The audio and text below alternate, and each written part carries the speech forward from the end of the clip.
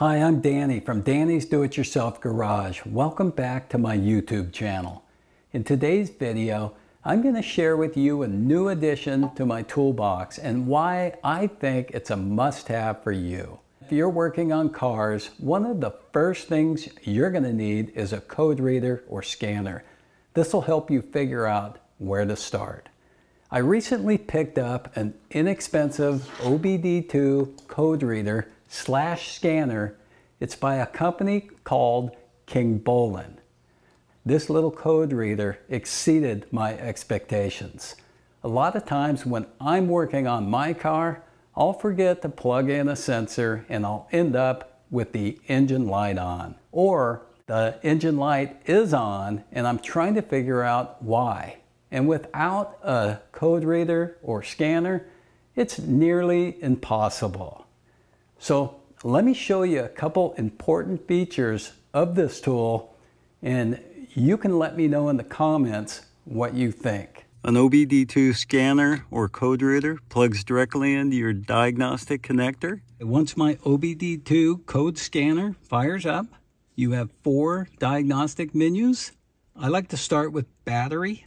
So let's go down to battery, press OK. So right here, it says the current voltage is 12.6. The maximum voltage so far it read was 12.6 and the minimum was 12.6. This is the time the test has been running, 10 seconds. And then here's a little graph of what's going on. So all these numbers are the same because we haven't done anything yet. So let's turn on the key. And you can see it went down a little bit to 12.1. Let's turn on the fan and the air conditioner. And you can see it dropped all the way down to 11.5. And then my current voltage is reading 11.7. The max will stay the same because we didn't add any voltage. We took everything away and you can see the graph kind of dip away. Now, whenever you do electrical work, check codes, anything like that, you always want to make sure your battery's good. So if you start the car and minimum voltage goes below 9.6 volts, you need to check your battery because most likely you're going to need a battery because it's not carrying the current it needs to carry. And then on the same idea, on your alternator, that needs to be above 12.6 volts. Usually you'll see about 14, 14.4 when the car is running. So let's go ahead and start the vehicle and then we'll let it run and we'll see where that alternator ends up.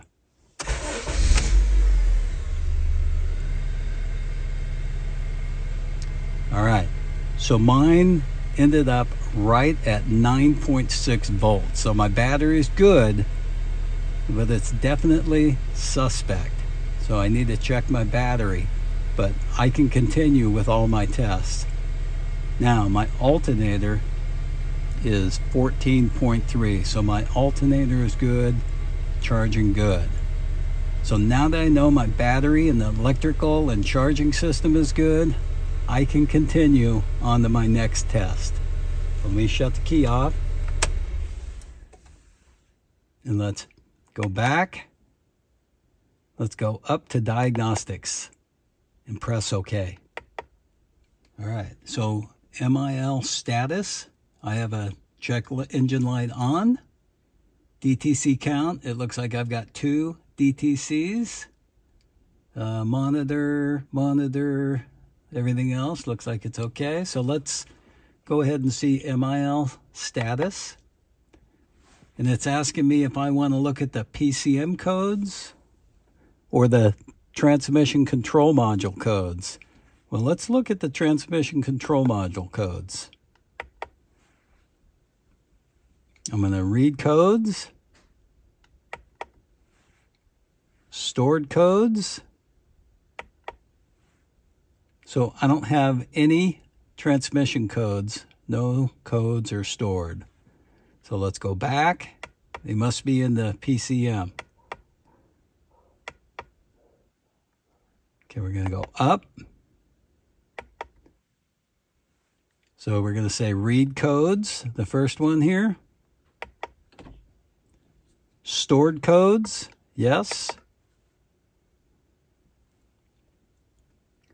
So it's got a mass airflow sensor code. And that's, see it says one of two. So let's go to the next one. And an intake air temperature code. So what I did is I unplugged the mass airflow sensor and that's part of the air intake sensor. So let me go ahead and plug those back in. Now let's back up. Back up one more. And where it says erase codes, it says, do I want to clear the codes? I most definitely do. The DTCs have been cleared. So let's go back and see if they've actually been cleared.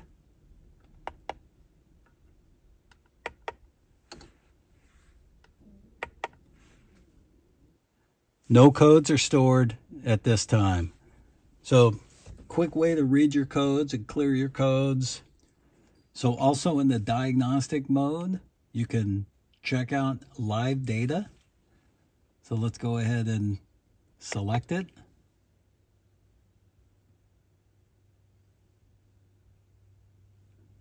And let's go down to monitor, ECM, PCM. Instead of read codes this time, we're going to say live data. Let's say all data. Let me go ahead and start it. It says whatever data I want to hold, just press the button for two seconds, the OK button. So we'll do that. Let's start with OK.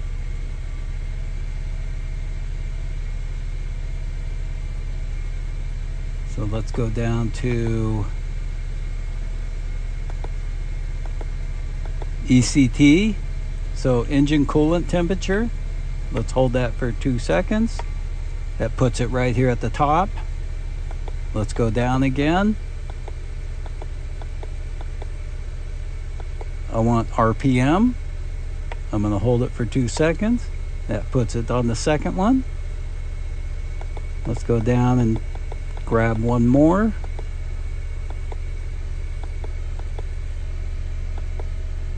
Let's go the throttle position sensor, TP sensor.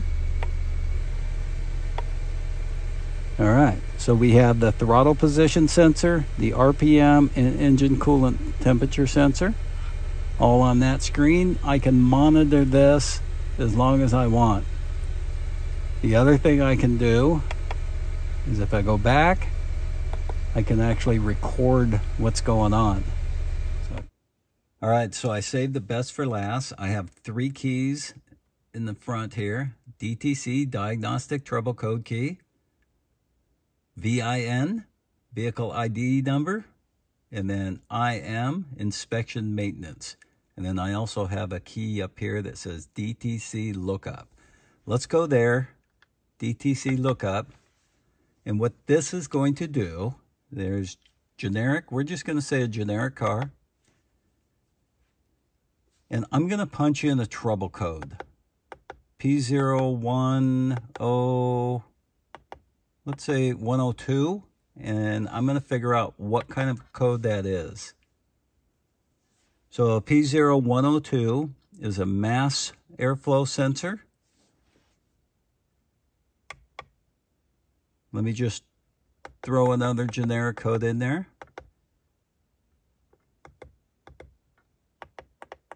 Let's do 106. I don't know what a 106 is.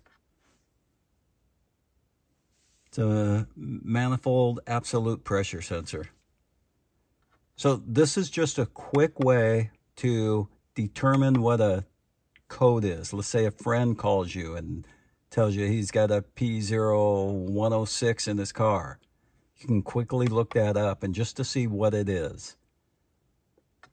Next, DTC, VIN, and IM. So DTC, if I push this, it's going to tell me what codes are in my car without me having to punch in that it's a Honda Civic uh, and all that. So I'm going to just say okay, okay. And uh, P0102 is a mass airflow sensor. That's code 1. And P0113, that's a intake air temperature sensor. So I have those codes stored in my car right now. So we're going to back up. And then the vehicle ID. This will quickly show me my vehicle ID of this car. And then we'll back up. And then IM. Now this is inspection maintenance readiness. So what this does is your computer system runs tests on all these sensors. The CAT converter, the EVAP,